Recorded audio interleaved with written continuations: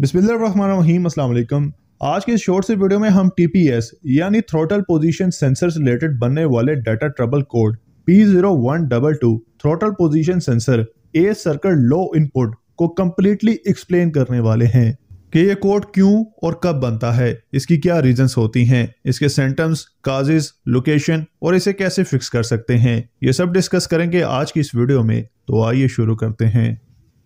तो सबसे पहले हम टीपी सेंसर की लोकेशन और वर्किंग को देख लेते हैं। टीपी सेंसर की लोकेशन आपको थ्रोटल बॉडी के ऊपर मिलेगी। थ्रोटल बॉडी के अंदर थ्रोटल वाल जिसे बटरफ्लाई भी कहते हैं, इस बटरफ्लाई के बिल्कुल बाहर वाली साइड पर आपको टीपी सेंसर माउंट हुआ देखने को मिलेगा, जिसका काम बटरफ्लाई की पोजीशन और एंगल को मैयर करके ईसीएम यानी इंजन कंट्रोल मॉड्यूल को सिग्नल भेजना होता है। एक्सीटर पैडल प्रेस करने पर जितनी ज़्यादा बटरफ्लाई ओपन होगी, उतनी ही एयर इंजन में एंटर होगी। अब ईसीएम टीपी सेंसर, यानी थ्रोटल पोजीशन सेंसर के सिग्नल के मुताबिक उतना ही फ्यूल इंजेक्ट करेगा। तो अब बात करते हैं टीपी सेंसर रिलेटेड बनने वाले data trouble code P zero one double two TP sensor A circuit low input की।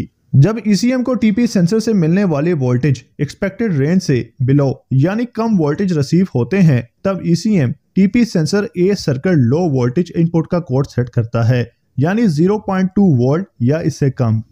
P zero one double two के काजेज की बात करें तो टीपी सेंसर का खराब होना, जो कि तब्दील होगा। Loosely mounted throttle position sensor bad and corroded wiring and wiring connections P zero one double two के सेंटर्स में चेक इंजन लाइट का ऑन होना hard starting engine rough low और some cases high idle hesitating when acceleration तो ये थी आज की वीडियो। उम्मीद है आपके पी ज़ीरो वन डबल टू से रिलेटेड तमाम डाउट्स क्लियर हो चुके होंगे। मिलते हैं एक नए वीडियो में एक नए फॉल्ट कोड के साथ। तब तक के लिए अल्लाह हाफिज़।